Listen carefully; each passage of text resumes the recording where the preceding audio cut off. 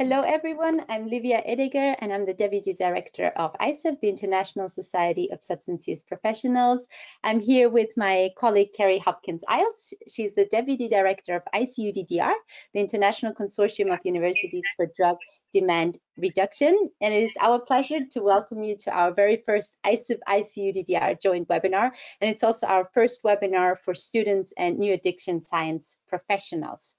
And um, today we've brought together a panel of experts um, who will provide introduction into addiction programs and further education in addiction studies. They will also talk about forming student organizations and professional networks and cover challenges and tips to getting addiction science research published in high impact journals.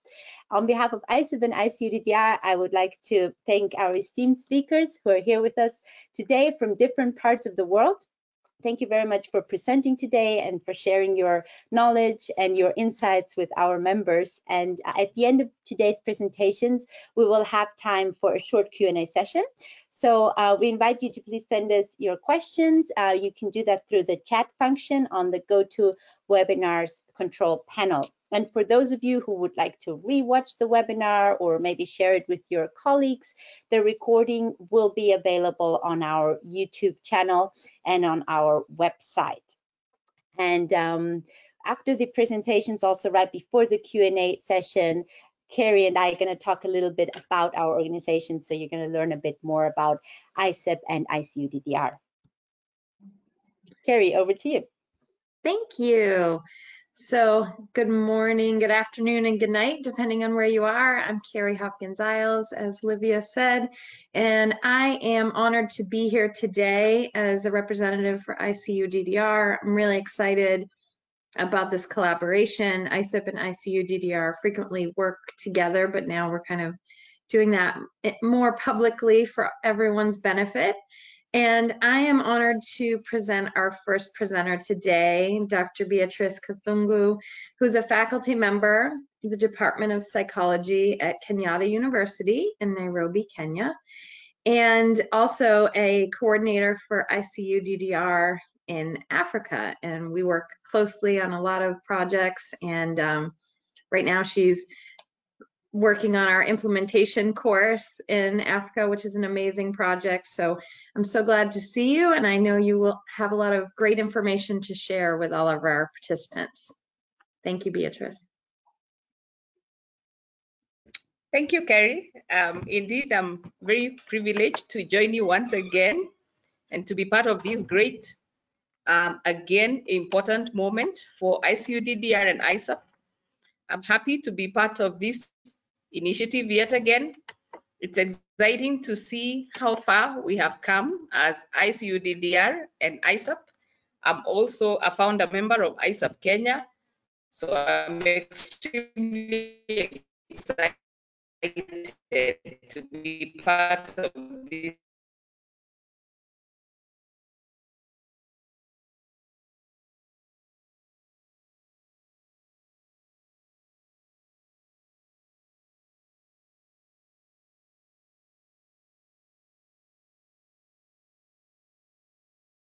initiative that we all are part of.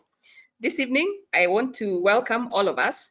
We're going to be professionals, what kind of available for us as young professionals, what is it that we can do with what we have, and where are the areas of uh, growth uh, as a career in terms of addiction programs. And that's really going to be the focus of my presentation this evening.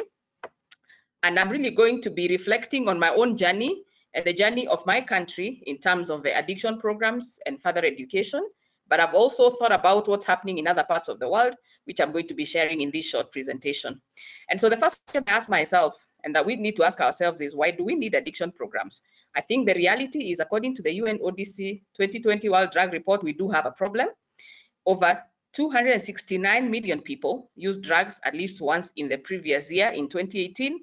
35 million of them have substance use disorders and therefore require treatment. If you go to your regional levels, whether it's in the different continents or even the respective countries, you will probably discover that the problem is similar or as big as it is at the global level. Now, when we have such a problem, the next question we ask ourselves, what's the impact? We have a lot of negative impact on health at the individual level. We have got impact on family and community. There's lots of resources that is spent on trying to manage problems related to drug and drug addiction. There is a lot of issues of crime, including violence and corruption. We have got disruption of socio-economic, political, and cultural structures, and therefore we have reason to be concerned. Why do we think addiction programs is the way to go? We need to ask ourselves, these are programs for who? Who are these service providers that require these programs? What do they need to do? What kind of services should they be providing? What kind of settings are they working in? With what sort of clients? What sort of knowledge, skills, competencies, attitudes, and values do they require? These are critical questions we ask ourselves each time we think about addiction programs. The other important thing we have to think about is some of the activities that these service providers will be involved in. They include, you know, issues to do with supply reduction, whether it's areas of addressing production of drugs, sale of drugs, trafficking, distribution, etc. We also have to think about demand reduction. We need to think about prevention programs. We need to think about treatment programs. We need to think about harm reduction. We have to think about research issues of policy and advocacy when we think about engagement in this field of demand reduction. Now, other specific activities and settings that persons working in this field may be involved in include prevention programs such as outreach, awareness creation, education programs. We can also think about family, community, and wellness programs. We can think about working in school settings. We can think about treatment, you know, centers, whether they are inpatient, whether they are, you know, residential, whether they are halfway houses, whether it's within the criminal justice system where we have got prisons and other, you know, correctional centers, whether it's hospitals, whether it's rehab settings, amongst many others. We also can think about policy and advocacy organizations. These are areas and settings where people can work. We can think of academia. We can also think about research organizations. Now, when we think about that, then we see the need to build capacity. We need to build capacity at the global level. We need to build capacity at the regional level. We need to think about the national level and also the very local context in which we operate. And that's why international organizations like ISSUP, ICUDDR, UNODC, Colombo Plan, amongst others, have stepped up to try and collaborate towards um, developing capacity and empowering countries to build capacity for these different service providers to be able to work in these different settings. Now, what is it that we need to do? We need to think about the knowledge, the skills, the competencies, the values that are required to address drug demand reduction goals across the different settings we have mentioned. This can be done through capacity building initiatives, and these initiatives may be short-term, they may also be long-term. Now, when we think about short-term, we are thinking about short-term training programs. For example, we can have short courses and wonderful examples include the Universal Treatment Curriculum or UTC, the Universal Prevention Curriculum or UPC, which have actually uh, been steered by Colombo Plan with support from INL and which are now uh, pushed ahead by um, uh, ISSUP Kenya, um, ICUDDR, and the beautiful partnerships that they have with the different uh, academic and, and training organizations. We can also think about university-based academic programs, which is where ICUDDR really does come in very strongly. And we need to note that in the universities, we can actually have academic programs in related disciplines touching on um, addiction studies, but we can also have standalone uh, programs. And that's where I'm going next. That those who are young professionals or young people interested in pursuing uh, the career in addiction, then these are your options. You can actually look at universities and they have got certain programs that are related, which may actually have anchored certain courses in addiction. For example, you may find a program in psychology that has got a course, a single course or unit that is talking about addiction. You may also find a program, maybe in uh, something like a clinical psychology, that has got a group of units or courses, which is forming a concentration or a specialization in the area of addiction. So it's possible wherever you are that you could possibly actually begin to, um, you know, familiarize yourself with addiction-related programs through these related disciplines. They could be in medicine, they could be in psychology, they could be in counseling, they could be in pharmacy, social work, public health, amongst others. And I believe if you look around your, universities in your countries, you will be able to see some of them. But the other important area of development is where we have standalone academic programs in addiction studies. And this is where ICUDDR is working very hard to actually build capacity of universities and institutions towards developing such programs. Currently, you'll find them in some universities. You will also find them in some of the middle level institutions. The other important issue we want to think about, what do these programs focus on? They could focus on prevention, they could focus on treatment, they could focus on harm reduction, they could focus on policy and advocacy, and some could actually combine elements from each of these. Uh, the other important thing is what kind of programs do we have? Some of them focus on coursework, others have got coursework and a research component, including some project work in the area of addiction field, Others also add a practicum or internship to give the students a practical experience or a hands-on experience in the work that they are doing in the training program. Now, what are some of the names you will find going in this program? Some may be called, you know, programs in addiction medicine. Others may be called programs in addictology. Others programs in addiction science. Others use the term addiction studies. Others use the term addiction counseling, and all these are examples of names you may find when you're looking for programs to pursue. I think the key thing is that the different names could really be uh, portraying the emphasis or the focus of the specific program. Now, the other important question is, where do these um, programs draw students from? They cut across diverse disciplines, for example, medicine, psychology, very popular, sociology, pharmacy, public health. I have also seen some even cut across areas like law and criminal justice. So it means that we have a lot of openings in terms of the diversity of the background we are coming from to join the addiction field. Now, in terms of levels, we can have levels ranging all the way from pre-bachelor's, where we have got certificates and diplomas. They go by different names in different countries. For example, some countries will call them ordinary diplomas, others will call them higher diplomas. All these are terminologies that refer to courses that are done by people who have not attained a bachelor's. We also have bachelor's programs. We have postgraduate diploma for people that have a first degree, we, we, which usually run for about a year we have got master's programs. We even have doctorate programs. And I'm happy that Anna is here because her university is one of the ones that has programs right from bachelor's all the way to uh, the doctorate level. Now, in terms of duration, it really does vary. It does depend on the program level. So that if you have a, a pre-bachelor's, it could be a shorter program. Bachelor's are longer. Masters could go until two years. But it really does depend on countries and regions. Doctoral programs could go for three years, some longer. So this may vary across countries and across regions. In terms of the entry criteria, it's diverse. It does depend on the level of the program, but it also depends on the uniqueness of the program. And it does also depend on the policies of specific institutions, specific countries and regions. The other important point is the modes of delivery. I think this is very exciting. What I note is the flexibility that we have you can actually undertake your studies full-time basis. You can do it part-time. You can do face-to-face -face learning. You can actually do virtual learning where you have synchronous like we're having right now, or you can actually have asynchronous where you can actually have materials posted in a learning management system and you can access it at your own convenience and at your own time. But we can also have the blended mode, which tries to integrate uh, the different modes of delivery. So as I end, it's now time for decision making. Are you interested in advancing your career? Are you interested in pursuing a course in addiction studies? These are some of the factors that you may consider. What are your personal goals? Your personal goals will determine the kind of choice you will make. Will you go for a short course? Will you go for a bachelor's program? Will you go for a post a doctoral pro, a postmaster's program or a doctoral program? Will you go for a short course? All these will depend on your personal goals and where you want to go. Secondly, what academic qualifications do you already have?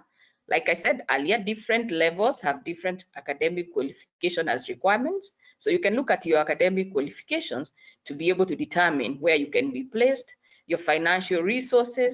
Of course, time availability is very critical, the admission criteria of the various programs, and finally, the availability of programs within access points. But I want to note that with virtual learning now, we're going to be having borderless learning. where you can actually take a course across different countries, across different continents, because of the flexibility of virtual learning. Uh, finally, I wish to say that you have many available options. You may actually take a short course, you may do a pre-bachelor's program, you may do a bachelor's degree, you may do a postgraduate diploma, you may do a master's degree, you may do a doctoral program. In short, we are simply spoiled for choice. Thank you very much. Thank you very much for your inspiring uh, presentation, Beatrice. Um, and again, I would like to invite you all, if you have any questions for Beatrice, please send them to us in the chat function. We'll be able to ask Beatrice at the end um, in our Q&A session. Thank you, Beatrice. And I would now like to introduce our next speaker, Anna Volfová. Anna is an academic and a lecturer at the First Faculty of Medicine at Charles University in Prague. And Anna is going to talk about student engagement. Um, student engagement has been a passion of hers for some time now. And Anna is the president of the Czech Association of Addictologists, and she has also founded the Student Association of Addictologist Students in 2015. The floor is yours, Anna. Okay, thank you very much. I hope you hear, hear me, everybody. And I'm not sure I'm sharing the screen, so I'll just wait a moment. Yes, we, we can see, we can hear you, we can see you, and we can also see your presentation. Okay, I can't, I can't see my presentation, so I'm just trying to find it.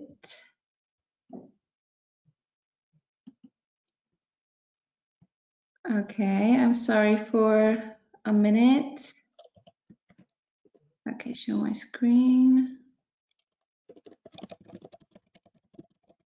Okay, I'm sorry, I'm having some trouble to see my presentation, so that's a bit challenging. Oh, okay, I see now. Okay, sorry for this. So thank you very much uh, for uh, a perfect introduction, and thank you very much, uh, Beatrice, uh, for talking about the addiction study programs, because that is quite important for me to uh, link to the topic of uh, forming a student professional network. Uh, so as it was said, uh, I am very enthusiastic into uh, student activities and student professional networking. And maybe what's important to say is that um, I have studied uh, our addiction studies here in Prague, which as Beatrice has already said, we have the bachelor's degree, the master's degree, and now I'm studying the PhD doctorate. So uh, from this view, I would like to talk a few minutes about uh, what was going on and what is happening here in Czech Republic. So in a way, I would like to show you how it is in our country, uh, to show you a case study of our student networking here.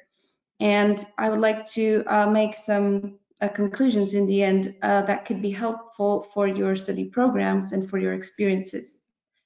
Uh, so at this picture, I just wanted to show you that this is a picture of, uh, it's a few years back, uh, of our student association, which we have founded here. Uh, the question uh, I was actually asked to talk about is how students can work together to form, form a professional network, uh, which is a wonderful question. And when I was thinking about it, I was thinking, well, you know, students always want to stick together. It's something that students do all over the world, and it's just uh, how we look at their uh, motivation and how we work with it. So uh, I know it's the beginning of the presentation, but I wanted to highlight a few points that I would like you to uh, take home. Uh, the first one is, um, okay, my presentation has just stopped again. I'm sorry.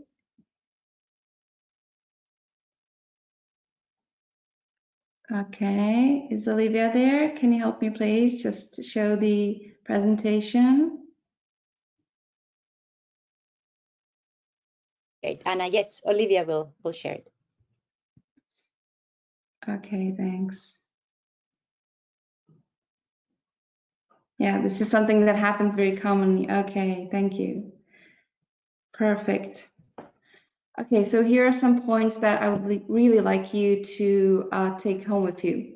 It's that developing and supporting a student network is really worth it.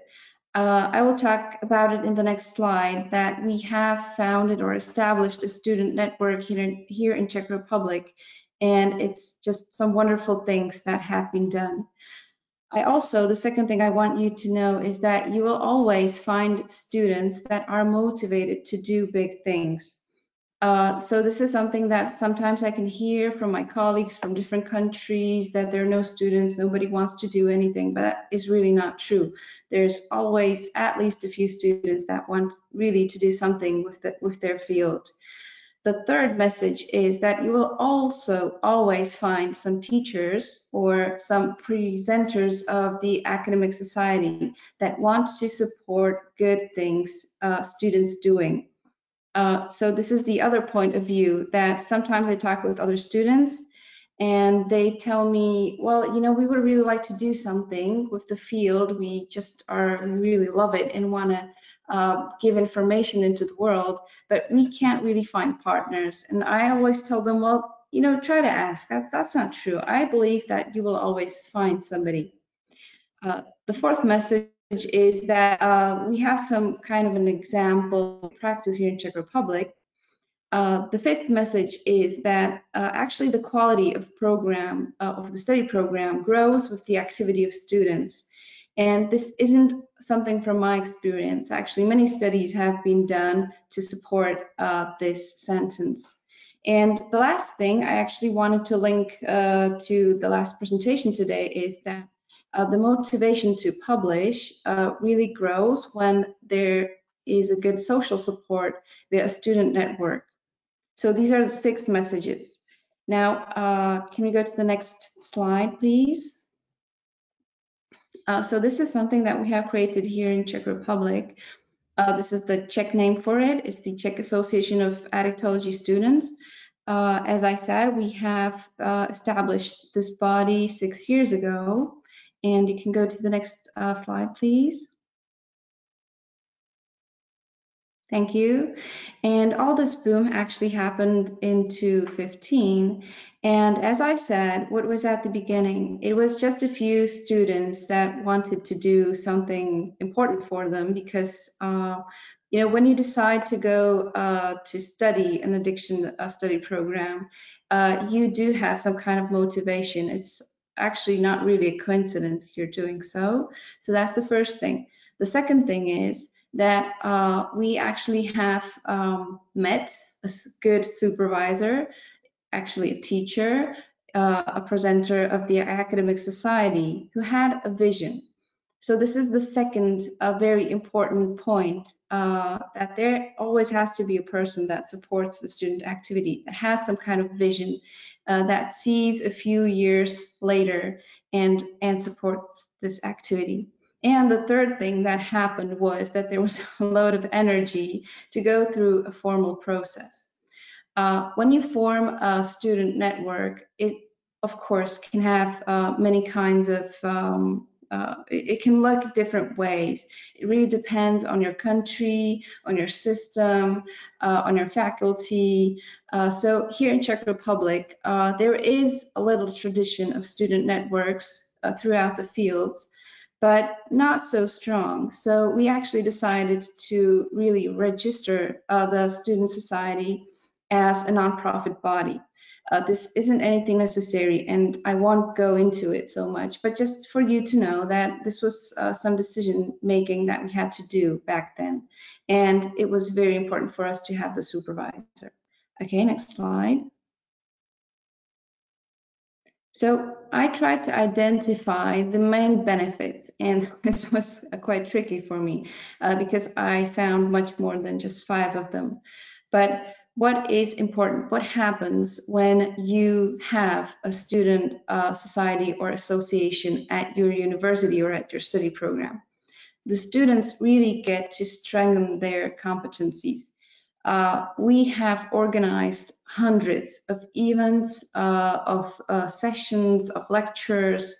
Uh, we learned communication. Uh, we learned what does it mean to be in leadership, uh, that you have to cooperate. All these, we can maybe call them soft skills, is something that you really enhance uh, when you have a student body. The second thing is that students build relationships quite normally, actually. But if there is a student network, uh, the relationships get stronger and they get stronger um, also not only in the field of addiction studies, but you have to cooperate with different students because you want to cooperate with different students. And this is something that really creates very important relationships in future. Uh, you also build a relationship, that's something I wanted to highlight, uh, with your uh, professional group, though you are still a student, you're not the professional actually yet, but it's something that links you uh, to other professional bodies. For example, here in Czech Republic, we have a National Association of Addiction Professionals, uh, which we have for like 15 years now, and it's a very important body. And if we have the student uh, association, we link it to this professional association, and it really uh, rises the motivation to be then into into the professional body, which is important because of advocacy, policy, and so on. The third benefit I have identified is the interdisciplinary cooperation. I've also talked about it a little bit more, uh, but it means that we made lots of events, uh, or for example, students uh, made these events when they went to different faculties and they talked to students from different fields and they talked about addictions, which was really awesome and wonderful. Uh, also, um, you make this basis for your future work. Uh, interdisciplinary or the or the multidisciplinary characteristics of addiction studies is very important. The fourth benefit is that you improve the quality of the study programs, but not only of the study program itself, but of course of your teaching techniques. Uh, you the actually the faculty or the teachers um, have a partner with which they can talk about the quality of the study program and find ways to improve the study program. Wonderful thing. Uh, the fifth benefit is uh, creating opportunities. Uh, many students that went through uh, this uh, Czech Association of Students actually uh, made some good experiences in going to conferences, going abroad, cooperation with future colleagues, um, uh, some of our students actually got very good job offers because they volunteered in uh, some of the events, some of very important events, and it really helped them to get uh, to uh, good quality practice and uh, to get a job, for example. So this is just a hint uh, what benefits a student network can bring. And can we go to the next slide, please? Thank you. Uh, this picture is just that I'm not talking about nothing. Um, it's just a few photos throughout the years uh, that students have been doing at our university. Um, it really strengthened uh, the relationship between teachers and students. So uh, we also had this student journal. Uh, it was like a, a, testing journal or a practice journal. It was, um, if anything that the students wanted to say to the world, they could just, you know, write uh, write their opinions there. And because it wasn't officially uh, a journal of the faculty or the university, uh, it was it was uh, very free. Uh, but I think it was a good uh, place uh, for trying to write the first texts and articles, maybe for further publishing. Okay, next slide, please. Um, so the question at the beginning was how students can work together to form a professional network. But actually, I think what is important that uh, we have to think about how can also teachers or the uh, faculty members work together to support students in their professional growth, because one can't exist without the other.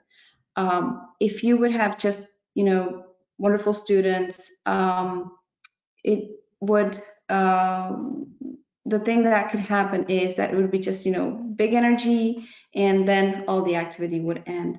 But uh, you can make some kind of continuity if uh, the teachers uh, support the activity of students. So I think this is very important to see when you think about your students. Okay, next slide. So the last thing, just to sum up, three messages. Uh, you will always find a few great students that are very motivated to do big things, to do important things about their field.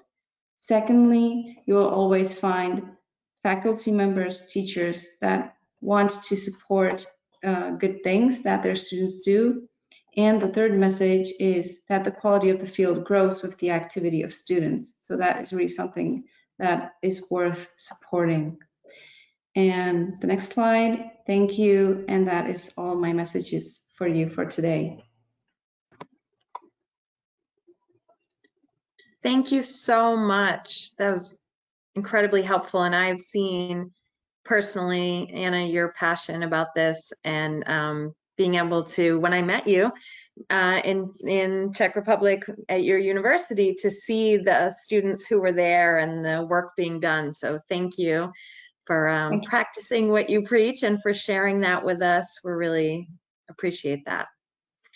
So I'm excited to introduce our next speaker, Dr. Richard Pates, who I've worked closely with on a lot of different projects. We've frequently been, uh, I, I've been up at early in the morning getting ready to do presentations with him.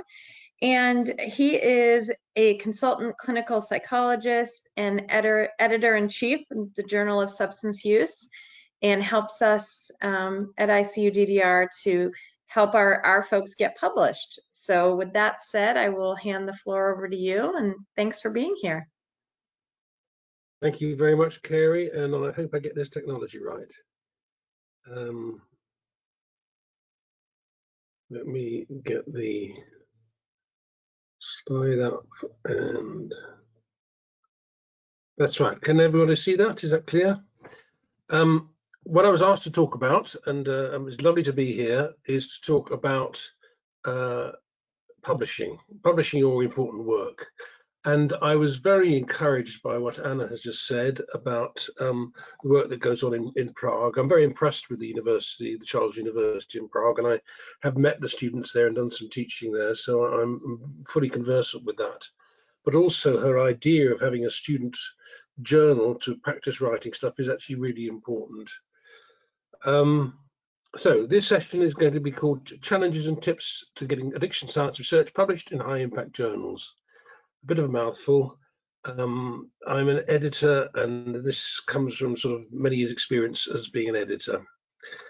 Um, if you can remember this, um, there is a book called Publishing Addiction Science, uh, a guide for the perplexed. It's been edited by members of ISAJE, who I, am representing today.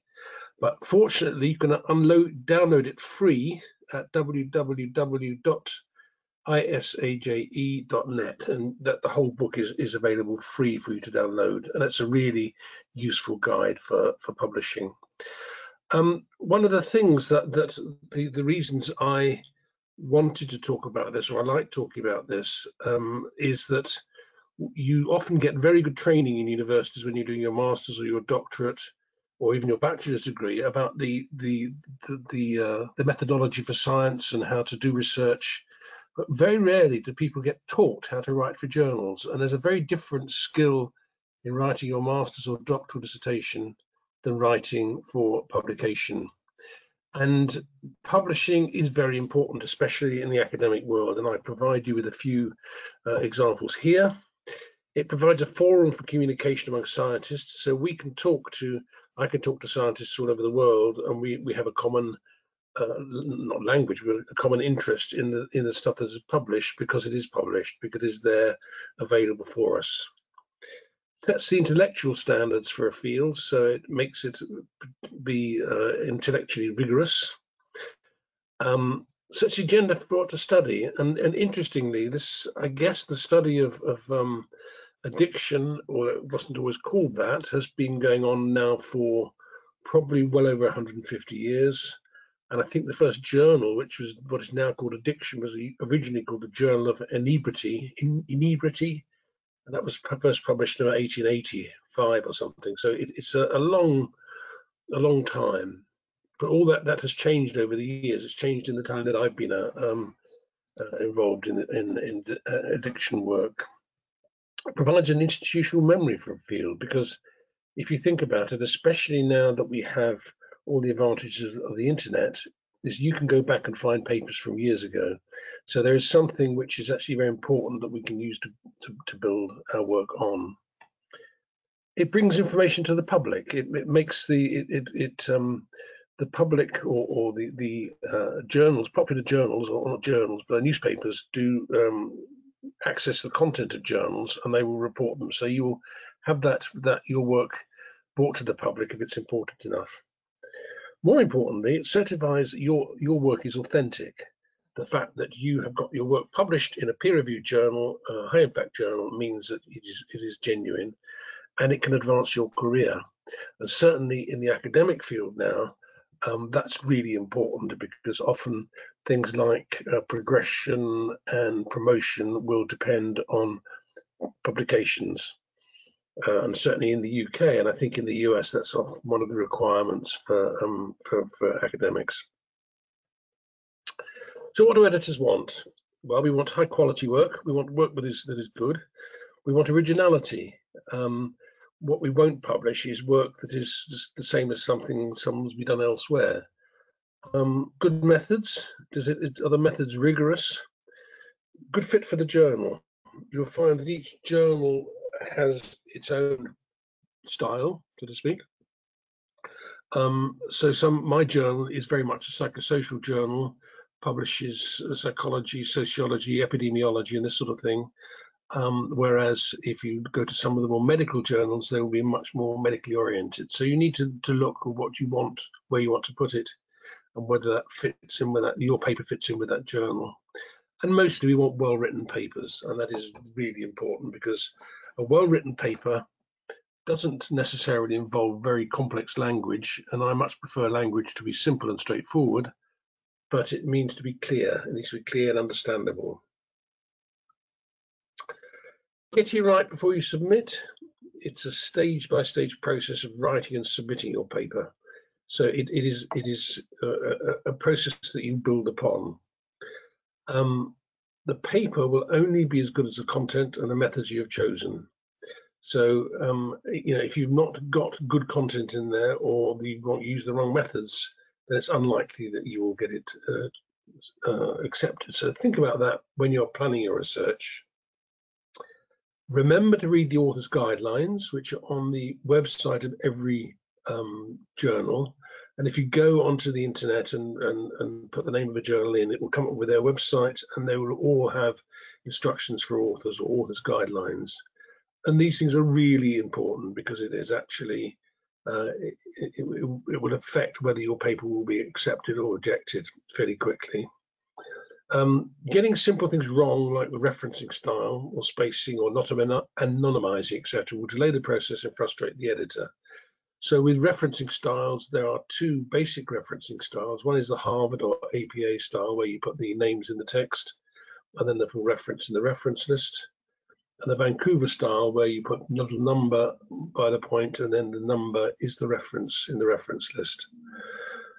Spacing is important because it's very frustrating if you ask for double space papers to have single space papers, which are hard to read and hard to insert comments into um, anonymizing is important because um, we like to send our papers out for review blinded to the reviewers so they don't know who's written the paper. And of course, if your name is on the top of it or your institution, that, that won't be anonymous.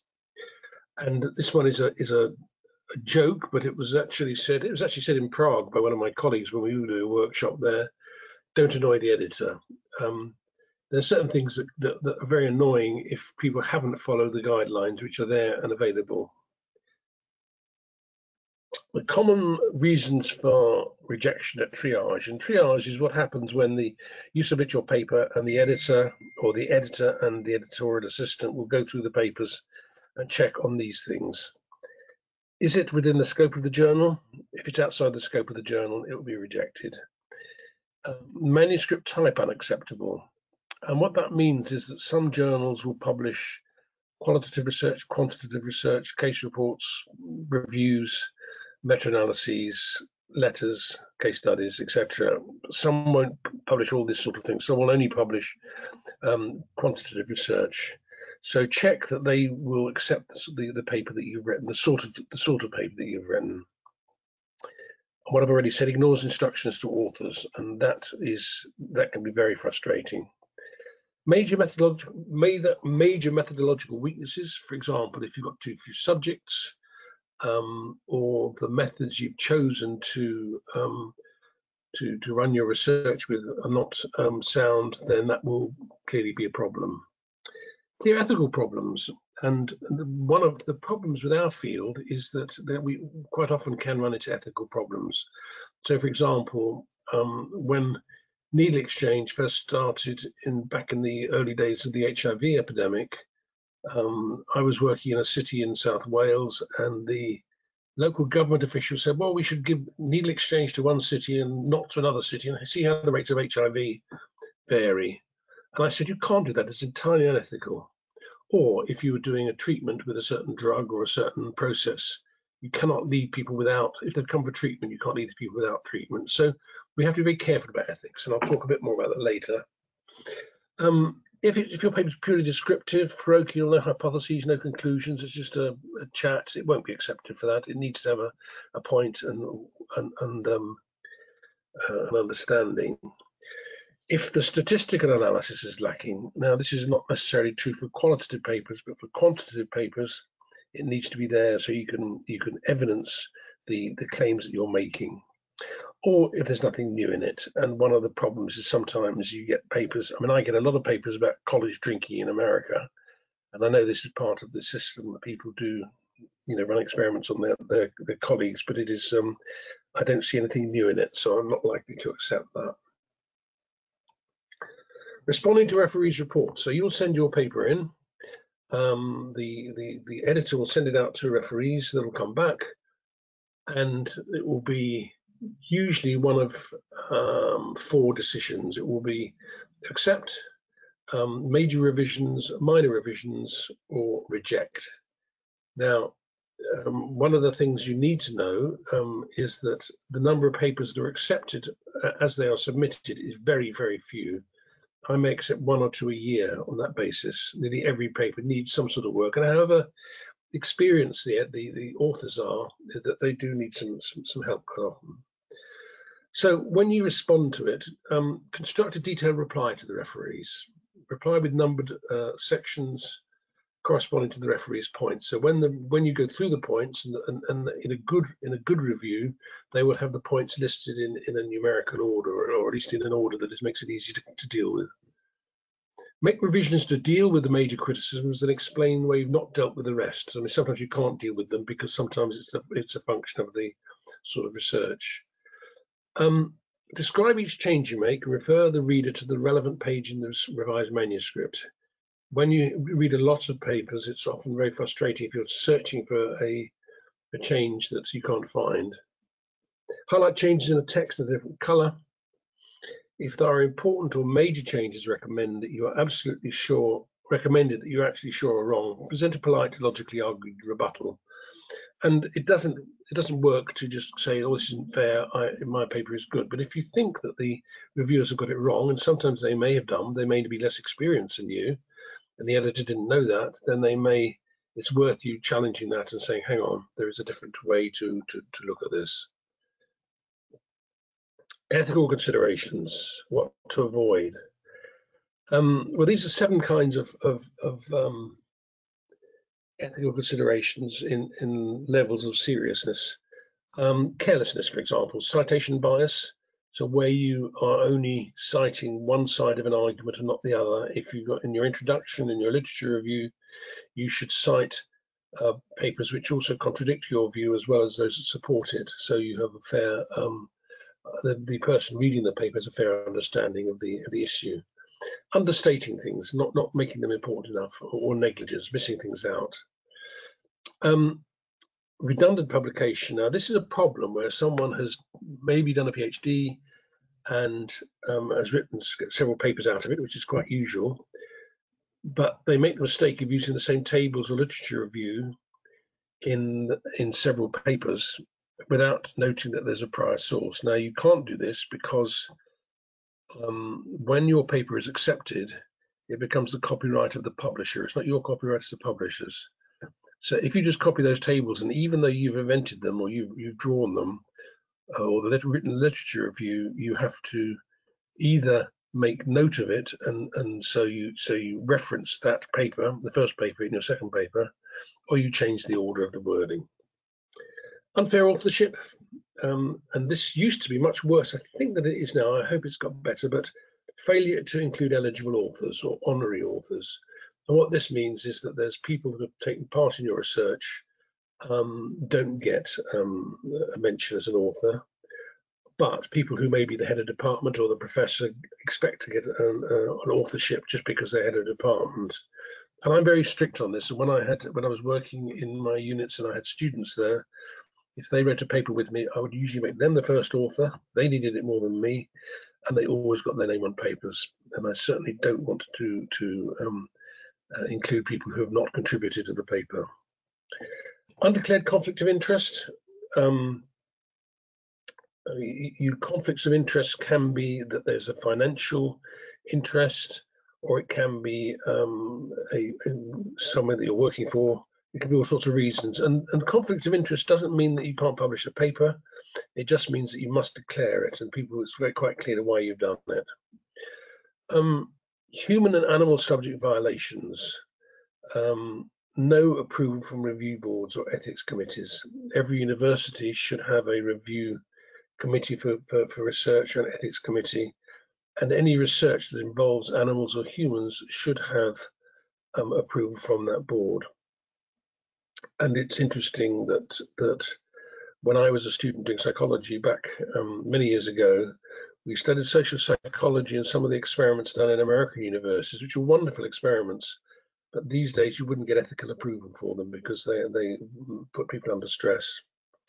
Um, plagiarism, reproducing others' works or ideas without uh, without reproducing other ideas or, or works or ideas without um, acknowledge them or saying that they, they're your own work.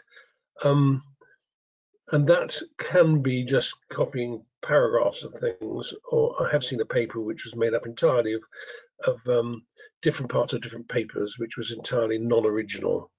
Um, it's not always easy to spot, but um, many publishers now have uh, plagiarism software, which will go through an article and um, test it against other articles and can, can often identify that it is um, plagiarizing. Other fraud, fabrication or falsification of data, misappropriation of others' ideas or plans given in confidence. And this may sound um, quite um, severe, but the, in fact, there is there was a professor at the university in London who actually invented some of the data in the study and his students blew the whistle on him and he was sacked. So it's a very, very serious thing. And uh, there's a temptation to do that. And actually, if you go back in history in terms of things like the IQ scientific research, there was some quite a lot of falsification of data then. So that gives you examples of what to avoid. Some helpful tips. So this is just really, I said, it's no great science. It's it's just a, a way of helping get your work published.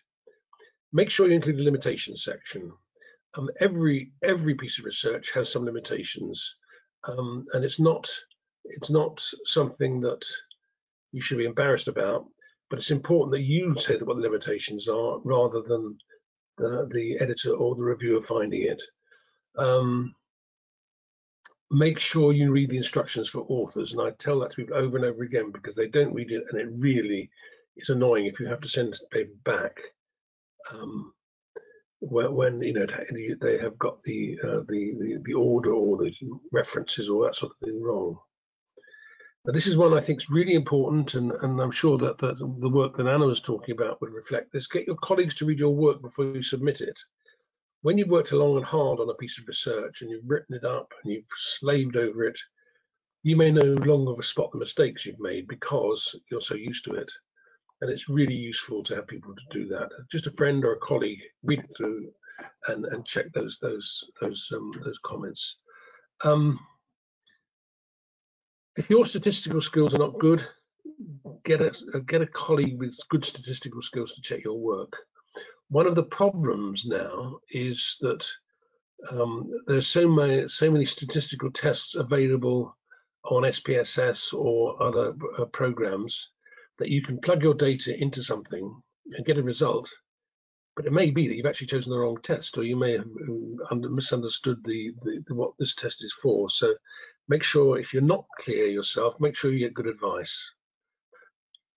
Don't make claims in your paper that the results do not show significant. I mean, people sometimes say, well, it's moving towards significance. It was practically significant. If it's not significant, it's not significant. So don't make those claims. Um, importantly, highlight the strengths of your paper and why is it important.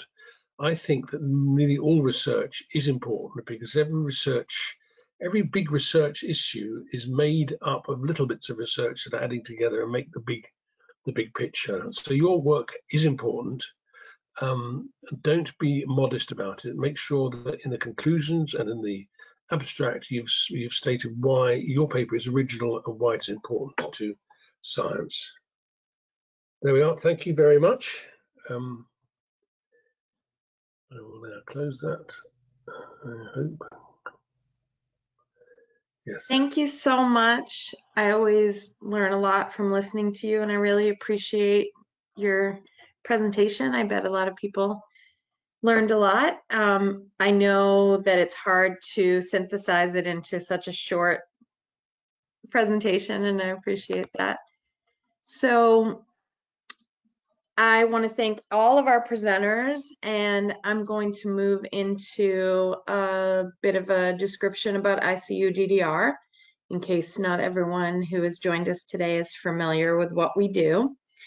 And um, since we are in collaboration today with ISSUP, we can kind of illuminate for you and highlight a little bit what's different between the organizations. So I get a lot of people who would like to join ICUDDR, and of course, we welcome them.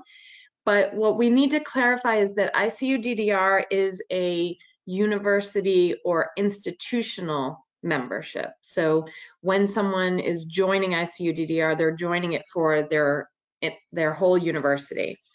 And um, what we do then is when we have our university members, we do a lot of faculty networking, university networking. Um, Beatrice has helped us with role modeling for other organizations, as has um, Charles University in Prague. So, you know, if you're a university who is new to the addiction studies work, for example, we have other universities who are maybe a little farther along that path who can help you. Um, so there's a lot of really powerful networking that happens to work together. And then we also promote research. So we have inter-university research and people who work together in this area.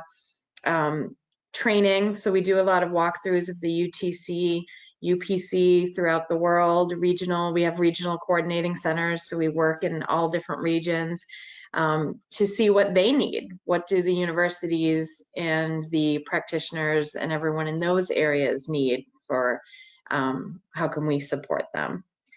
Um, so yes, we do a lot of different things on the university level and um, hopefully you'll be able to join us in some of the things that we do there to support the different goals of network development, research, education, university community outreach, and advocacy. I didn't mention advocacy, but we know that um, advocacy is required in this field and so that we can make sure that those folks who are struggling with the disease of addiction receive the best possible care. We start that up at the macro level of training that workforce and bringing it down. So I think that's enough about ICUDDR. Livia?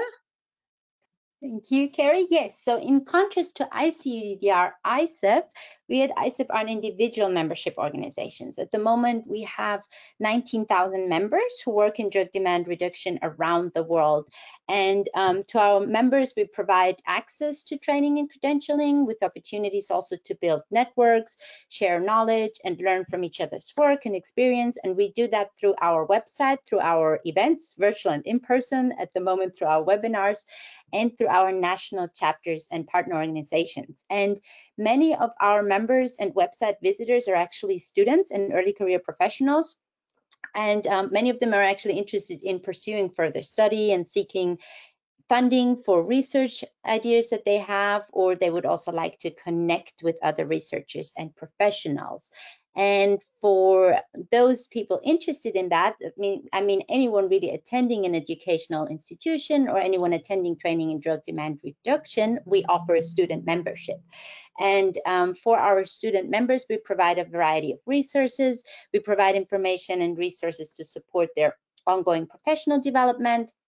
We hope that at the end of the year, by the end of the year, we will have our new online learning hub with training opportunities live on our website. Our student members also gain access to student and early career networks to develop their professional standing. And they also um, are able to access job opportunities via our job board on our website. And we also um, feature those job opportunities in our newsletter.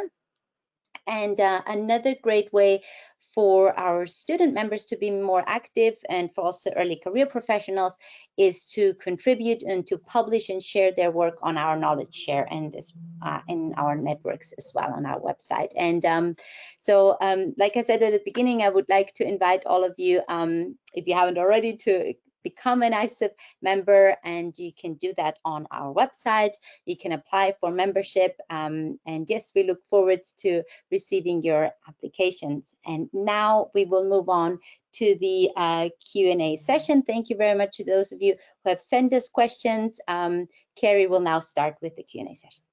Okay, so we only have a few minutes, but we got a few really great questions that we wanted to circle back to.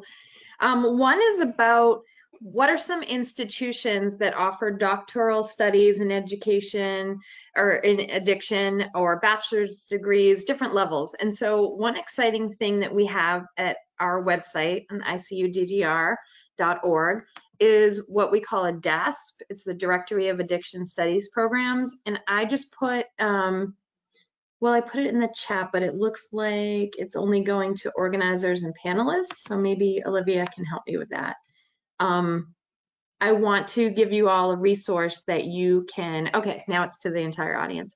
So here's a link um, that you can go to that is, we hope comprehensive, but of course, if, if you see that we're missing programs, let us know. We're continually updating it, but this is a um, resource for you. So if you are interested in a program, here's a great resource to use. You can filter it by part of the world you're in, by what kind of program you're looking for. So and then um, the another question that was asked that I can quickly answer for you is about what um, Dr. Pates mentioned, and that is the resource for those who are trying to publish their addictions work. And um, we all, I have that link here as well. So if Livia, if you can make that available to everyone, that would be great. And then um, I guess we have, we're, we're butting up on time here, but for Dr. Beatrice, the question is, what is the best course or degree, um, one who's already a medical doctor, what would you suggest they take if they're planning to put up a rehabilitation facility and would like to be hands-on with their patients?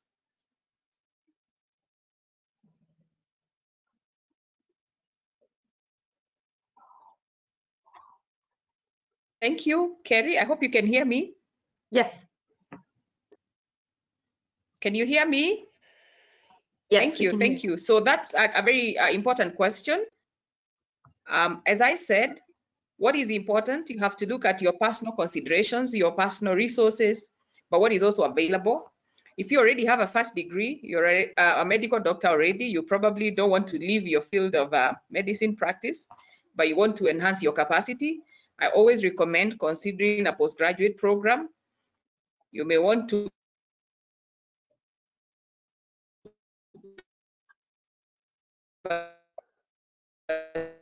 pursue either a postgraduate diploma or you may want to consider a master's degree, depending on whether your country regulations do a graduate program in the specific field of study. And so I think the mm, option I think I would recommend would be a postgraduate uh, program.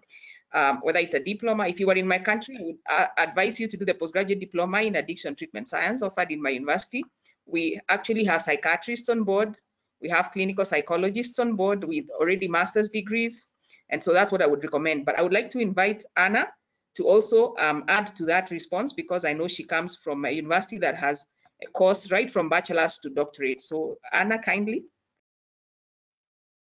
Thank you very much, Beatrice. Um, I would just uh, agree with you what you have just said. For example, at Charles University, we have the comprehensive model. And for medical doctors, uh, the doctorate program, the PhD program is open. I would recommend that. And also, for example, in our country, we have uh, the lifelong uh, learning system. So that means that for medical doctors, we have some series of specific courses. So that is something that uh, that would be a choice, uh, for example, here. So it really depends on on your country and uh, the possibilities you have there. But uh, you can study our doctorate uh, the PhD program in English at our university. So if you would be interested, just let me know. No problem to give more information about that. So we are slightly over time, so I just want to wrap up, but thank you so much to everyone who attended. Thank you to our presenters who were all amazing and offered such good information and dynamic pr presentations. Um, we I just want to mention that the recording is available so people can share it or look over again if there's things they missed. Um, also, you will be receiving a certificate for attendance. Thank you for that. And we do hope to offer more joint webinars such as this in the future. So if you have ideas on things you'd like us to offer, please let us know. Um, I think it was a great success and I'm really proud of it. So thank you to everyone and take care.